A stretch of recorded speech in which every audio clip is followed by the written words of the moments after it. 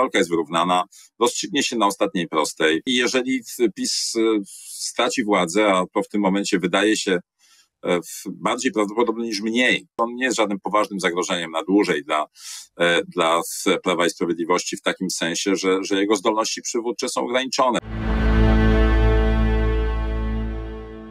Profesor Jarosław Flis, socjolog Uniwersytet Jagielloński, kłaniam się. Dzień dobry. Słyszę i to bardzo wyraźnie. Bardzo mnie to cieszy. Panie profesorze, to zacznijmy od brutalizacji kampanii wyborczej, bo akurat przez kompletny przypadek e, powróciliśmy do e, słów e, premiera Morawieckiego, którego retoryka już jakiś czas temu wydawała się bardzo... Mm, konfrontacyjna, tak to nazwę, a w tej chwili rzeczywiście mamy już zdrajców, mamy niemieckich morderców, mamy gestapowców, etc. Czy jest jakiś moment, w którym to wszystko się zatrzyma, czy już granic żadnych nie ma w tej kampanii? No wydaje się, że to może przyjść otrzeźwienie po ewentualnej porażce. No to, to zwykle jest, jest ten problem. Rzeczywiście obóz rządzący rozkręcił się niewiarygodnie w, w tej w tej sprawie i, i rzeczywiście no już tak jakby toczył oczywiście wojnę z, z wszystkimi. No oczywiście że to jest tak, że, że opozycja zwykle podgrzewa nastroje, natomiast zwykle to jest tak, że opozycja podgrzewa nastroje, a rządzący tonują. Natomiast tym razem jest tak, że opozycja owszem podgrzewa nastroje, a e, rządzący przyjęli sobie za, za ambicje, żeby to jeszcze przebić, no, żeby jeszcze bardziej, jeszcze więcej, jeszcze, e, jeszcze brutalniej. No i w zasadzie jedyne, co można się dziwić i robić zarzuty, rozumiem z punktu widzenia zagorzałych zwolenników, że w ogóle pozwalają funkcjonować tym wszystkim niemieckim zdrajcom, no bo przecież w końcu są w Polsce jakieś służby. E, jeśli, e, jeśli jest tylu tych, e, tych służalców z obcego państwa, no to trzeba by ich zaaresztować, zebrać dowody, jeżeli są, to jest taka sprawa, sprawa oczywista. No ale to ponure żarty, dlatego że, że to jest coś, co co tylko i wyłącznie jest takim no, doprowadzeniem do absurdu tego polskiego wrestlingu. No, znaczy, oczywiście nasza polityka zawsze trochę tak przypominała takie amerykańskie zapasy, że to wszystko wygląda, że zaraz świat się skończy i ktoś zostanie po prostu rozgnieciony na mokrą plamę.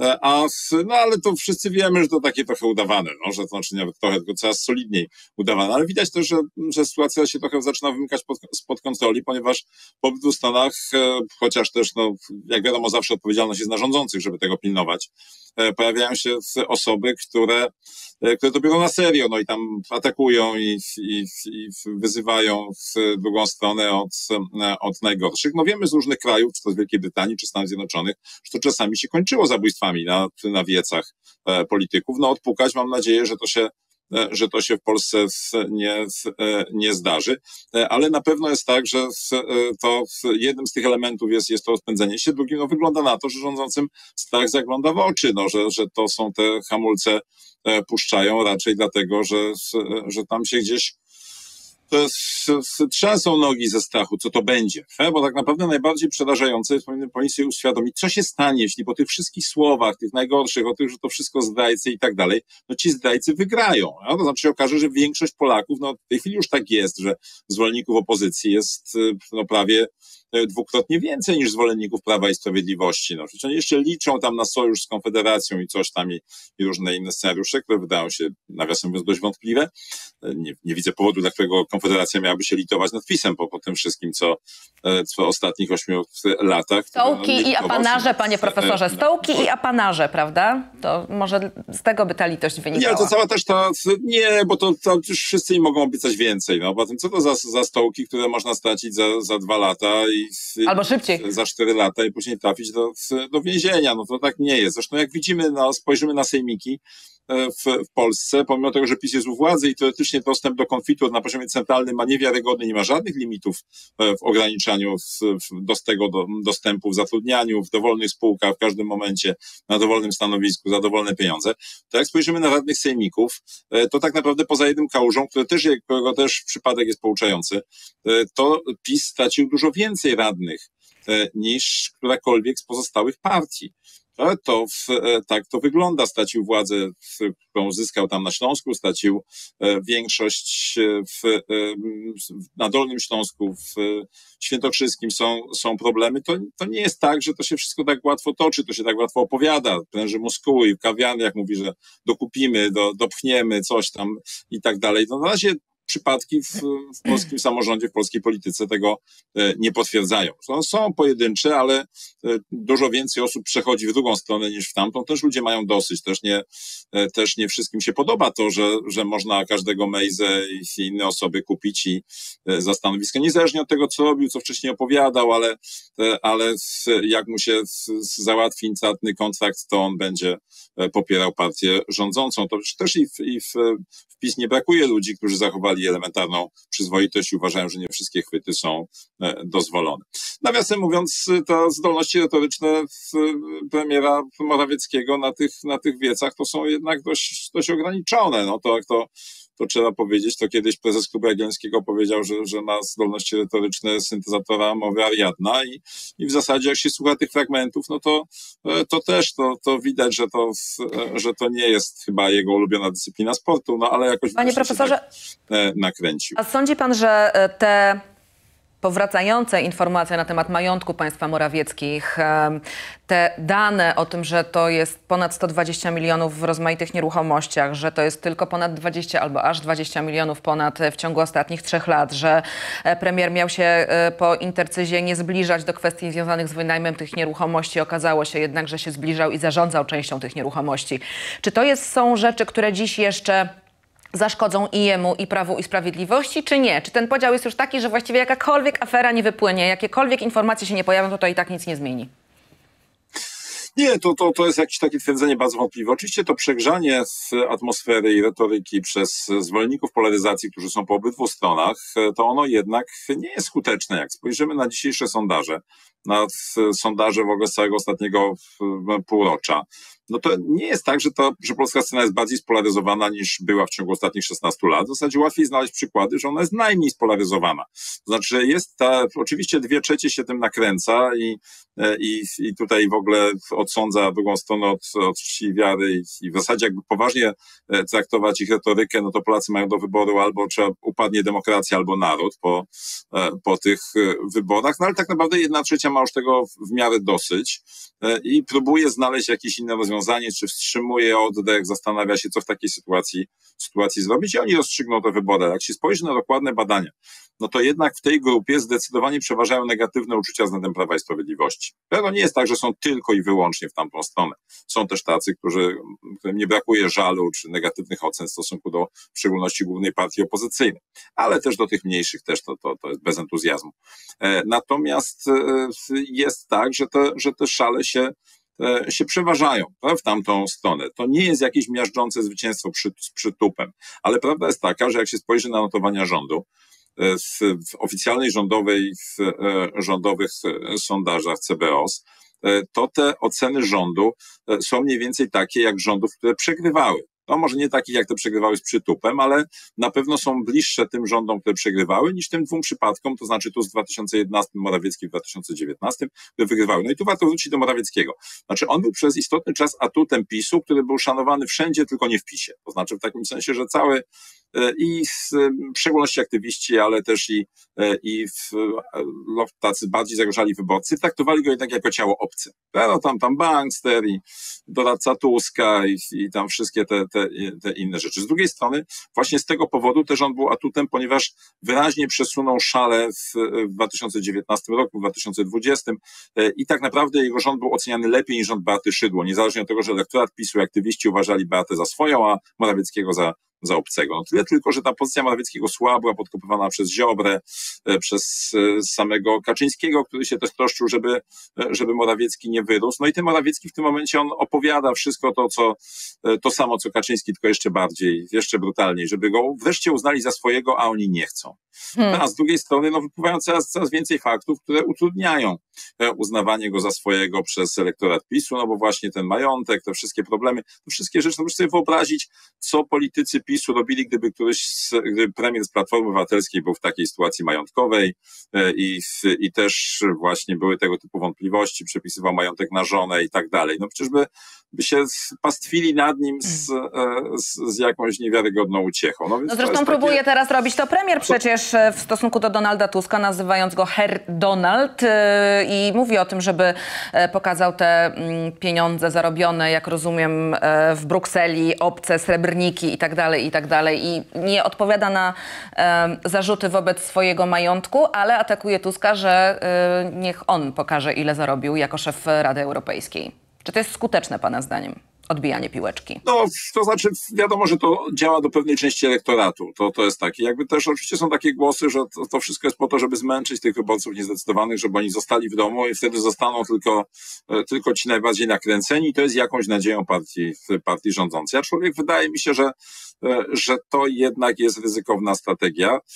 No zobaczymy, jak, znaczy tak byłoby, gdyby rzeczywiście zupełnie byli bezsilni ci, którzy, którzy wybierają inne inne podejście, które raczej chcieliby stonować te, e, te nastroje i dla których głównym zarzutem w stosunku do, do partii rządzącej nie jest to, że e, że tam tylko i wyłącznie kradnie i tak dalej, ale właśnie, że niszczy spójność społeczną, że podgrzewa te konflikty ponad wszelką wszelką miarę, że nawet jeśli zamiarem było przełamanie konfliktów społecznych, jakichś starych żali, to nie ma już najmniejszego pomysłu na to, e, jak zmniejszyć napięcia. W zasadzie cieszą się, to znaczy chcieliby, żeby była mniejsza różnica pomiędzy wsią i miastem, ale tak naprawdę chcieliby też, żeby emocje, które temu towarzyszą, nigdy nie zniknęły. To znaczy, żeby dalej, e, dalej wszyscy się wzajemnie nienawidzili, pod, podgryzali, gardzili sobą, no bo liczą na to, że to jest, że to jest koszt. Wydaje mi się, że to się mogą się na tym przeliczyć. Jeśli spojrzymy na wcześniejsze, na wszystkie wcześniejsze wybory w Polsce i prezydenckie i, i parlamentarne,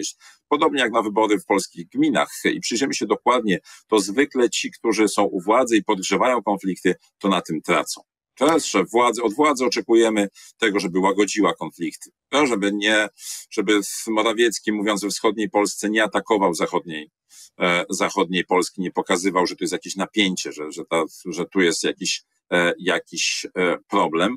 No tak, e, tylko pytanie, panie profesorze, czy Prawo i Sprawiedliwości, premierowi Morawieckiemu przede wszystkim, ale także Jarosławowi Kaczyńskiemu uda się zasiać strach w ludziach, bo mamy tę retorykę, ten zaczęło się oczywiście od spotu Mariusza Błaszczaka o tym, że Tusk chciał oddać pół Polski mm, i Morawiecki właściwie na każdym spotkaniu wyborczym w tej chwili mówi o tym, że tu, gdzie jesteśmy, byliby już Niemcy, mielibyśmy obrazki jak z Buczy, Niemcy, mordercy już by was wszystkich powyżynali, niemalże takie słowa padają, a wszystko dlatego, że Tusk działa na e, pasku Niemców i on chciałby Niemcom i ruskim was sprzedać. Wiadomo, że strach jest jedną z najbardziej silnych, jeżeli nie najsilniejszą emocją. E, I teraz pytanie, czy PiS już przegrzało? E, znaczy jest to już karykaturalne i śmieszne, czy jednak ta ściana wschodnia jest wystraszona, bo wielu polityków w takich nieoficjalnych rozmowach opozycyjnych mówi mi, oni nie mówią o niczym innym, tylko o tym, że Tusk chciał oddać pół Polski. No czyli jest to skuteczne. No to tego nie jesteśmy pewie, pewni. To znaczy wiadomo, że, e, że w ten sposób mówią ci, którzy w ogóle się odzywają. Pytanie, czy ci, którzy, którzy siedzą cicho, e, są jakie oni mają zdanie w tej, e, w tej sprawie. E, na pewno oczywiście z metodycznego punktu widzenia to i to ujawnianie tych, tych dokumentów i w ogóle no, ten scenariusz to, to z, z obroną na, na Wiśle, no to, to był jeden z alternatyw wtedy, kiedy, kiedy NATO nam nie pomaga. I to, i to jest zresztą całkowicie racjonalne, jak spojrzymy na, na wojnę ukraińską, no to jest też tak, że E, że tam w, owszem były bronione główne miasta, ale nikt nie bronił się sztywną linią, bo wiadomo, że to jest nie do, nie do utrzymania. Jak się próbuje to, to robić, no to się kończy później czasami Mariupolem i obroną, która oczywiście była bohaterska, odciągnęła, e, odciągnęła uwagę, ale w, e, jakieś tam siły od, od natarcia na, w innych kierunkach, ale no jednak nie skończyła się powodzeniem. I to los Mariupola wbrew pozorom był, nie był wcale lepszy od e, losu e, Buczy. I, I oczywiście to z metodycznego punktu widzenia to jest ewidentne nadużycie. To, co tam się, e, te, tego typu argumenty, bo wiara to, że, że, że polska armia gdyby została sama, byłaby w stanie zatrzymać e, rosyjską armię, armię na płocie granicznym e, z, e, z Białorusią, no to, to z wojskowego punktu widzenia jest zupełnie, zupełnie chybiona chybione wyobrażenie. Niezależnie od tego, jakby to, jakby to wyglądało. Oczywiście czasy się zmieniły, wiele rzeczy się w tym momencie też nauczyliśmy. Widzimy, jak wygląda, nikt w końcu nie toczył takiej prawdziwej wojny do 2022 roku i nie wiemy, jakby to wyglądało i zresztą no te, to, to jest temat na zupełnie inną, poważną dyskusję, jakby się, co by się z tym, z tym w tym momencie działo. No i na szczęście nikt nie ujawnia planów, co obecnie byłoby robione i czy Hajnówka byłaby broniona jak, jak Stalingrad też w takiej E, w takiej sytuacji, no bo te argumenty też można by w tym momencie mm. E, używać zupełnie, e, zupełnie inną stronę. Natomiast najbardziej przerażające jest to, że, że to jest taka nieustająca próba podgrzania delegitymizacji drugiej strony i, i pytanie ona prowokuje jakby do tego samego. A, to znaczy, do odpowiadania pięknym za nadobne. A, I jeżeli PiS straci władzę, a to w tym momencie wydaje się E, bardziej prawdopodobne niż mniej, jeśli na to spojrzymy, a przynajmniej tak samo prawdopodobne jak to, że się, e, że się utrzyma, no to pytanie, trzeba będzie z tym wszystkim jakoś, jakoś żyć dalej. Polska ma oczywiście tradycję tam z czasów Rokoszy, że tam się mordowali nawet, no, a później był Sejm pacyfikacyjny, mówi okej, no nagadaliśmy różnych bzdur, namordowaliśmy się, a teraz już trzeba znowu zacząć myśleć o tym, jak żyć dalej. No ale, ale to na pewno jest istotne brzemię, zresztą no, cała ta historia końcówki XVII-XVIII wieku, no nie miała happy endu. I to niezależnie od tego, ile takich e, wewnętrznych rokoszy udało się spacyfikować e, krótkookresowo. E, Panie Także profesorze, to jest na pewno bardzo mhm. niebezpieczne dla państwa polskiego. A z drugiej strony mamy następującą sytuację. Rząd Prawa i Sprawiedliwości skłóca nas ze stroną ukraińską, a tymczasem okazuje się, przynajmniej tak wynika z dokumentów, zdjęć i filmów, które zamieścił już Krzysztof Brejza, że ponad milion ton węgla z rosyjskich portów trafiło w ostatnim czasie do Polski. Podobno transport miał się odbywać małymi jednostkami z obwodu leningradzkiego. E, realizować go mieli rosyjscy marynarze. E, Brejza mówi, że przedstawi e, dokumenty i nagrania, one zresztą już są publikowane na Twitterze w tej chwili. Tutaj widzę mapki, widzę nawet jest umieszczony film na profilu Krzysztofa Brejzy, który obrazuje wyładunek węgla z rosyjskiego portu w Szczecinie. Hmm? I co teraz? No nie znam tej sprawy, więc ciężko mi się wypowiadać. Wiadomo, że, e, że tutaj przy wielkich działaniach gospodarczych e, są możliwe różne elementy przemytu i różne inne rzeczy. Zresztą w ogóle cała ta, cała ta wojna z gazem, który całkiem długo jeszcze płynął rosyjskim przez, przez Ukrainę, e, jest pełna różnych, różnych paradoksów. Natomiast wydaje mi się, że kluczowym problemem w tym momencie jest, jest opowieść o tym, czy, znaczy, czy jest to ktoś, kto w stanie przedstawić wiarygodnie opowieść, że on z tym skończy wszystkim. To znaczy z takim, że nad tym wszystkim zapanuje i, e, i te wszystkie e, problemy, które, e, które się pojawiają wszędzie w świecie, ma jakiś pomysł na ich rozwiązanie, bo w tym momencie w relacjach międzynarodowych Prawo i Sprawiedliwość ma taką jedną strategię, właściwie albo biadolimy, albo się oburzamy. I w zasadzie obydwie są równie nieskuteczne, ale co zaskakujące, istotna część opozycji, wiele nurtów opozycji ma w zasadzie to samo podejście w krajowej polityce, to znaczy, że w zasadzie, że się oburzymy, i, i to wystarczy. Albo jeszcze pobiadolimy, że druga strona ma przewagę, że nadużywa, że różne inne, inne tego, typu, e, tego typu sprawy. To tak, no pytanie, czy, e, czy poza tym jest jeszcze jakaś opowieść? Może by wygrać wybory, trzeba mieć jeszcze opowieść opowieść pozytywną, to żeby coś, coś, z, tym, coś z tym zrobić. I, I, tak jak, jak PiS nie ma żadnego pomysłu, co zrobić z opozycją, on właśnie się cieszy tym, że, że ją może mieszać z błotem i, i oskarżać o najcięższe E, grzechy, no i, i też nie ma żadnego pomysłu, co się stanie, jak się nie uda. Najsmutniejsze no, jest to, tak panie profesorze, że w tej chwili są... Przekonać wyborców wahających się. No właśnie, tylko najsmutniejsze jest to, że w tej chwili... Mm, czy Mateusz, no, przede wszystkim Mateusz Morawiecki, wczoraj mnie to tak bardzo uderzyło na jego spotkaniu z wyborcami. On zachęca e, ludzi do tego, żeby obrażać e, przeciwników politycznych Prawa i Sprawiedliwości. Przecież on wyszedł, e, nie wiem, może wydawało mu się, że z Fredim Mercurym przez chwilę, znaczy to było coś takiego, że wyszedł, dał mikrofon w stronę publiki i zapowiedział, kim jest Tusk, kim jest Tusk i tak podburzał ludzi. Oni krzyknęli Niemca. On mówi, no właśnie, wiedziałem, że będziecie znali tę odpowiedź. Czy to jest normalne i czy to jest odpowiedzialne? To jest pewnie no, trochę pytanie retoryczne, ale jednak chciałabym, żeby odpowiedź na nie padła. Nie, no, no to, to, jest, to, jest, to są dramatyczne nadużycia. To w, e, to w tym sensie oni się po prostu stracili jakiekolwiek e, hamulce, w, w bariery i, e, i to jest rzecz, która w, i w krótszej, i w dłuższej perspektywie nie rokuje. A? No znaczy, że to jest, że to jest jeden z takich z, z problemów, które, które są, za które się płaci cenę, tak jak przecież Trump za całą swoją retorykę. No raz się udało, ale drugi raz już się nie udało. No i później to się skończyło tym atakiem na Kapitol i, widzimy dzisiaj, że oczywiście gdzieś to jakoś wraca, ale Ameryka już też nie jest taka, jaka E, jaka była i wcale nie jest oczywiste, jak patrzymy nawet na te tak zwane midtermy, połówkowe wybory w Stanach Zjednoczonych, e, że nawet jak się nakręci jakąś część, to gdy się okaże, że to się nakręci tylko 30-40%, a to jest maksimum chyba tego, co, na co w tym momencie może liczyć e, Prawo i Sprawiedliwość, to cała reszta może mieć tego serdecznie dosyć i powie każdy byle nie oni. I, i to, jest, to jest przedziwne, bo, bo naprawdę rzeczywiście te, E, ten styl, to co tam się, e, się dzieje, to, e, to wydaje mi się, że to jest taki powrót do, do lat 30. w Polsce, gdzie też oczywiście wtedy się tam dwie strony sporu politycznego, kastety były standardowym wyposażeniem, a, a takim ponadprogramowym to była broń palna.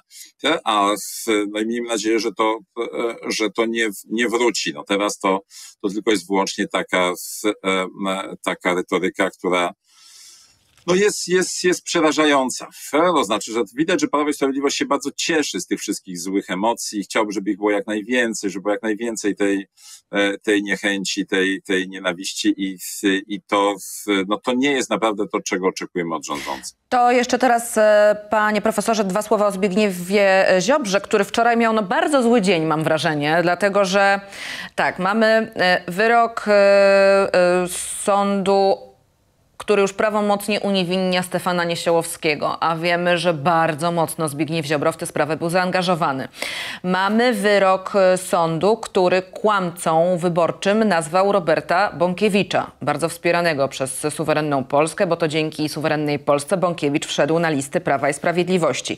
No i do tego oczywiście dochodzi e, sądowy zakaz wypowiadania się o Agnieszce Holland i jej twórczości. No i Zbigniew Ziobro komentuje sprawę krótką, to jest zamach na wolność słowa.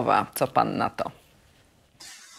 Tak, no po pierwsze to są skutki jego kompletnie nieudanej, co zresztą sam premier Morawiecki podkreślał i, i, nie sugerując, że to wynika z tego, że Zbigniew Ziobro jest, jest Niemcem, Rosjaninem, czy tam kimkolwiek, kimkolwiek innym, czy uchodźcą z innych, czy, czy jakimś muzułmaninem, e, to, e, to jest efekt nieudanej reformy. To znaczy w takim sensie, że ta reforma tylko i wyłącznie namnożyła wrogów i spolityzowała, znaczy sprawiła, że sędziowie się dużo częściej kierują motywami politycznymi niż, niż wcześniej, zrobiła wrogów. No i teraz nie trzeba się dziwić, że się później to przegrywa. Oczywiście wiadomo, że, że są pewne rzeczy prawne i prawnicy starają się trzymać w ramach prawa, ale wiemy też, że E, że najlepiej sędziom idzie trzymanie się prawa wtedy, kiedy się nie depcze po odciskach, nie obraża, nie wyzywa, nie traktuje jako zamkniętej kasty e, i, i wtedy, kiedy próbuje się, nawet jeśli się rozwią- chce rozwiązać jakieś problemy, to raczej w dialogu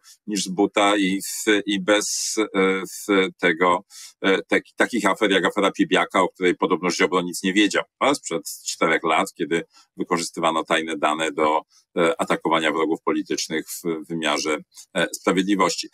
No tak się to, tak się to kończy. No wiemy, że, że cała działalność przez 8 lat Zbigniewa Ziobry to nie jest pasmo sukcesów. W zasadzie nie ma nikogo, kto by mówił, że, że on ma jakiekolwiek osiągnięcia w tej dziedzinie, poza e, tymi, którzy wytykają, że świetnie mu idzie wydawanie pieniędzy z funduszy rządowych na pomoc dla ofiar wypadków na cele ściśle związane z działalnością swojej partii. Rzeczywiście udało mu się stworzyć taką drużynę w obrębie PiSu, która jest nie do ruszenia. Znaczy Kaczyńskiemu się nie udało jej rozbić, e, trzeba było go wpuścić na listy, e, pomimo tego, że wiadomo, że będzie to źródło tylko i wyłącznie kłopotów, ale z drugiej strony też wiemy już teraz, że on nie jest żadnym poważnym zagrożeniem na dłużej dla, e, dla Prawa i Sprawiedliwości w takim sensie, że, że jego zdolności przywódcze są ograniczone, to znaczy ograniczone do stworzenia właśnie takiej, takiej sekty, która, która jest takiej specjalnej kasty polityków, która trzyma się razem i, e, i nie pozwala się w, e, ruszyć nikomu, ale no w realnym życiu, w procesach sądowych, w, e, w realnym zdobywaniu realnego poparcia, no tam zupełnie to nie idzie.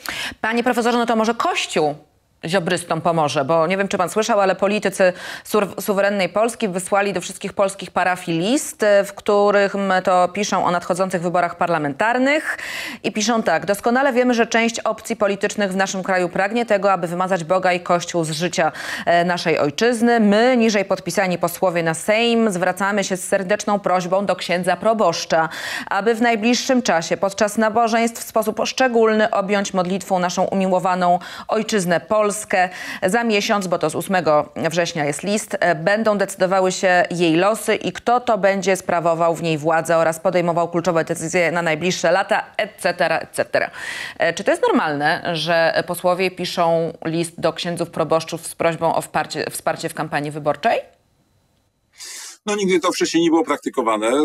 To jest oczywiście taka wielka nadzieja Prawa i Sprawiedliwości realizowana przez te lata na sojusz tonu z ołtarzem. Wiemy z historii, to jest wielokrotnie opisywane, że na takim sojuszu traci przede wszystkim ołtarz i Kościół mógłby się, mógłby zauważyć, że, że to jest e, problem, e, że tak naprawdę w nawet najlepszych czasach dla, dla PiSu większość wiernych nie głosowała na PiS, no bo jeżeli w Kościele 70% pójdzie zagłosować, to jest więcej niż średnia e, i 70% z nich zagłosuje na PiS, to jest też więcej niż średnia, e, to jednak dalej oznacza to tylko tyle, że 49% tylko zagłosowało na PiS, a 51% wiernych nie zagłosowało na PiS. Widocznie nie ma w tym ochoty e, żadnej. E, I to jest ten problem. A jeśli się, jeśli ktoś zaczyna zambony taką politykę prowadzić, no to po prostu ludzie przestają przychodzić do kościoła. I to jest to niebezpieczeństwo. Szukają sobie takich kościołów, w których takich przekazów nie ma, bo, bo w większości kościołów tak się nie odbywa. Oczywiście księża są taką samą grupą społeczną i to, że, e, że w naszym kraju jest przyjęte za oczywistość, że na przykład nie kandydują w wyborach, to, że to są wewnętrzne regulacje, co kiedyś w przeszłości wcale nie było prawdą. No to się tak zdarzało, że księża byli burmistrzami. E, I, e, i takie w, w historii to się, to się działo, ale no to przyjęliśmy, że to jest oczywistość, że, że nie chcemy, bo my wiemy, że to było pomieszanie porządków, pomieszanie pojęć i coś, co kiedyś I w tym momencie Kościół też płaci, płaci cenę za, e, za jedną, za złamanie takiej zasady przy okazji werdyktu Trybunału i tej, tej nieskrywanej, nieskrywanego nacisku w tej, w tej sprawie, którą sformułował dr Jacek e, Sokołowski, że to była taka niepisana umowa w, w Polsce, że macie prawo napominać, ale nie macie prawa egzekwować. I, to, I tutaj też no, powoli zaczyna być, się to wyłamywać też również z tego, z tej części, czy macie prawo napominać. Że wierni akurat w sprawie polityki e, niespecjalnie cenią sobie takie, e, takie napomnienia e, i raczej traktują to jako obciążenie Kościoła niż realną, realną wskazówkę. To znaczy to Kościół najlepiej wychodził na tym, kiedy było pewne, pewne domniemanie, tak jak w 97 roku pamiętam taki reportaż z jednej z podhalańskich wsi, kiedy to radny miejscowy mówił, że, że ksiądz ino powiedział, że mamy głosować mądrze i my już wiedzieli jak i, i to wtedy, wtedy to działa. Natomiast wtedy, kiedy trzeba to wskazać palcem i, i, i tak brutalnie, no to, to wtedy zaczyna działać przeciwną stronę.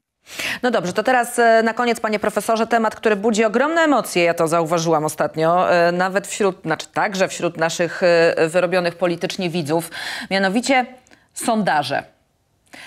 E, bardzo często spotykam się już z apelami, Pani Kamilo, proszę nie cytować tych sondaży, bo to jest bez sensu. Nie ma w nie w co wierzyć. E, one manipulują rzeczywistością. Czy rzeczywiście jest teraz tak, Panie Profesorze, że tych sondaży nie ma co cytować, że one nam nie pokazują realnej sytuacji, nie odzwierciedlają prawdziwego poparcia, bo inni są przeszacowani, inni są niedoszacowani. I rzeczywiście jest tak, że w jednym sondażu jednego dnia na przykład PiS ma 30%, a w następnym 36%. Platforma w jednym ma 26%, a w kolejnym przebija 30 i ma 31 na przykład. Faktycznie ludzie się zaczynają gubić w tych badaniach. I teraz e, pytanie do pana, osoby, która e, niemalże zęby na sondażach zjadła. E, my powinniśmy brać je pod uwagę, czy nie powinniśmy brać ich pod uwagę? Sugerować się nimi, czy absolutnie nie?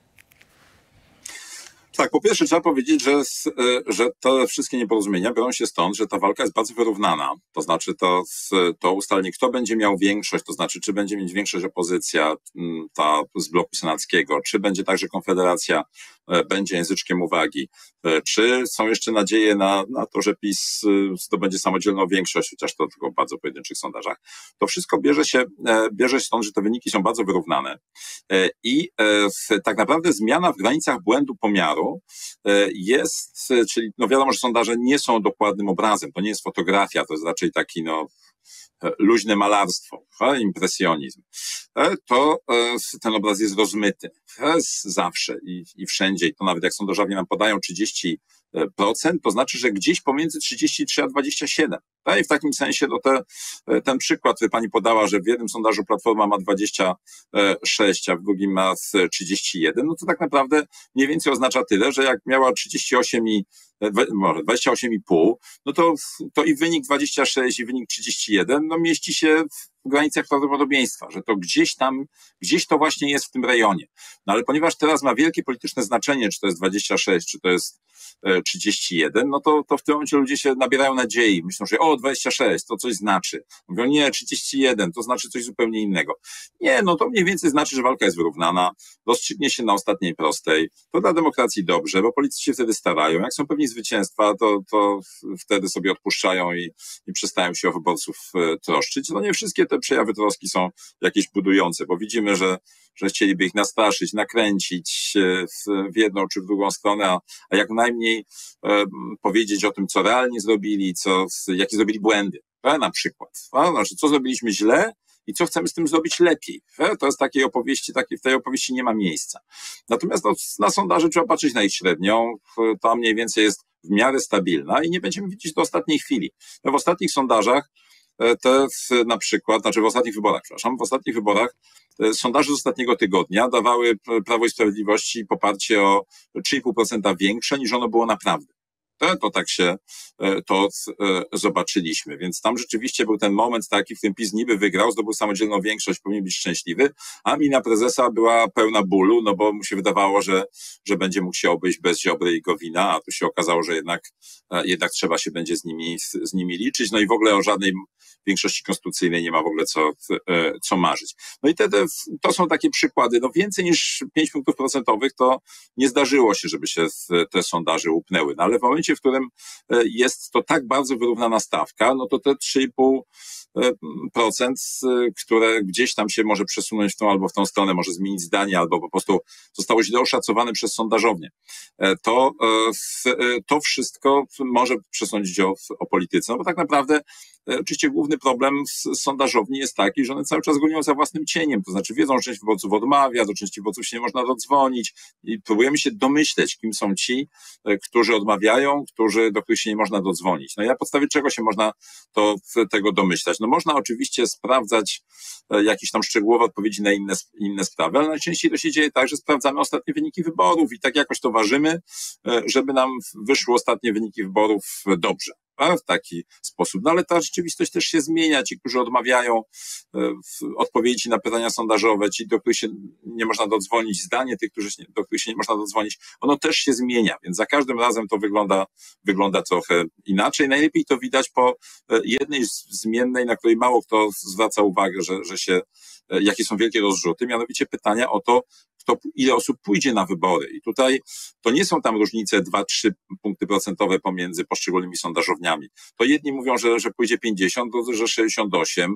No i to już w ogóle jest kompletnie inna rzeczywistość, gdyby poszły w takie, gdyby mhm. tak, tak się zmieniała frekwencja w Polsce. No, czyli po prostu musimy zachować daleko idący dystans do tych badań. Panie profesorze, bardzo dziękuję e, za tę rozmowę. Profesor Jarosław Flis, socjolog Uniwersytet Jagielloński, powta powtarzam. Pozdrawiam pana bardzo ciepło i e, raz jeszcze dziękuję. Do zobaczenia.